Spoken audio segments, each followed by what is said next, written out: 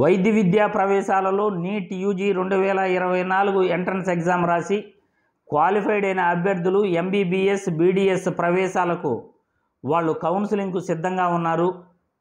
ఈ వీడియో ద్వారా ముఖ్యమంత్రి వర్యులు చంద్రబాబు గారికి మరియు ఉప ముఖ్యమంత్రి వర్యులు పవన్ కళ్యాణ్ గారికి విద్యాశాఖ మా మాత్యులు లోకేష్ గారికి కూడా మీరిచ్చిన హామీలు కొత్త మెడికల్ కళాశాలలు మరియు సెల్ఫ్ ఫైనాన్స్ సీట్లపైన పునరాలోచించుకోండి.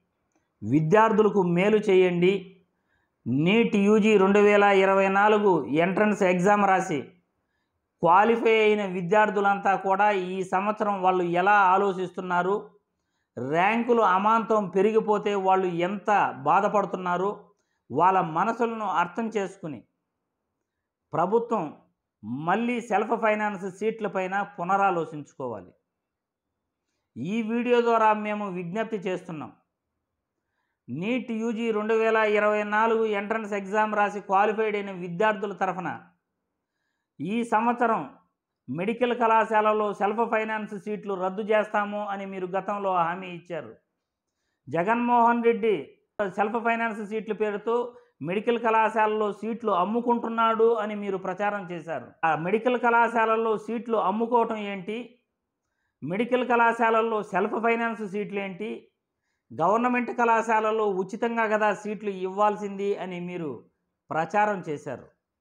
మేము అధికారంలోకి వస్తే సెల్ఫ్ ఫైనాన్స్ సీట్లు రద్దు చేసి కొత్త మెడికల్ కళాశాలలు ఏర్పాటు చేస్తాము అని చెప్పారు. ఇప్పుడు self finance సీట్లపైన one not seven one not eight జీవోలను continue చేస్తున్నట్లు మీరు హైకోర్టుకు తెలపటం విద్యార్థులందరూ కూడా బాధపడే విషయం.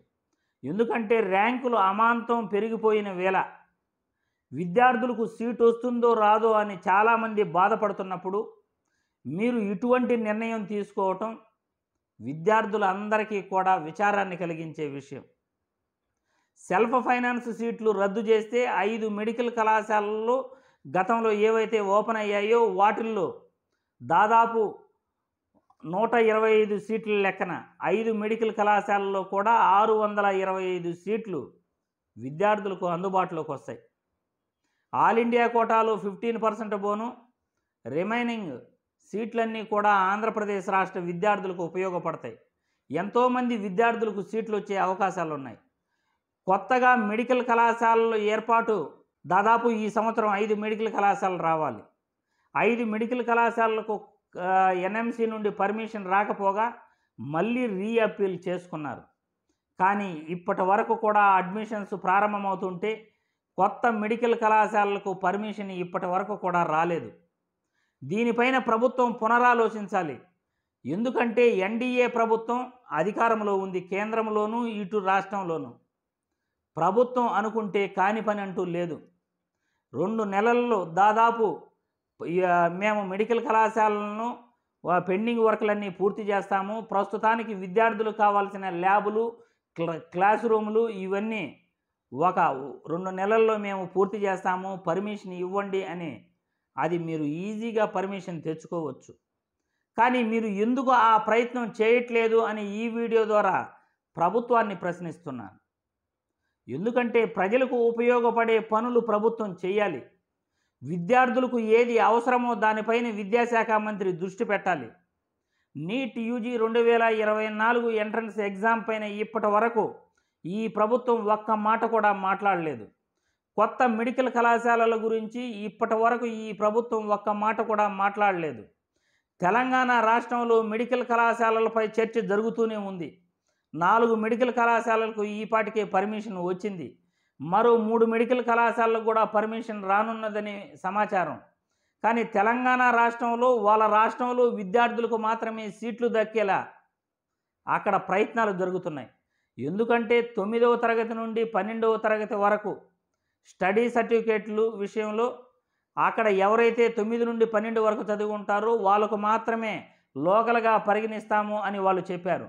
దీని వెనకాల దురుద్దేశం ఏమిటంటే ఆంధ్రప్రదేశ్ రాష్ట్ర విద్యార్థులు ఎవరైతే తెలంగాణలో సెటిల్డ్ ఆంధ్రప్రదేశ్ వాళ్ళు ఉన్నారో వాళ్ళందరూ కూడా ఏ విజయవాడలోనూ లేకపోతే విశాఖపట్నంలోనూ లేకపోతే వాళ్ళ సంబంధిత సొంత ప్రాంతాలలోనూ వాళ్ళు కోచింగ్లు తీసుకుని ఉంటారు. ఇంటర్మీడియట్ రెండు సంవత్సరాలు మరి కో కోచింగ్ సెంటర్లో కోచింగ్ తీసుకుని అక్కడ చదివే ప్రయత్నం చేసి అక్కడ నీట్ క్వాలిఫై అయి ఉంటారు.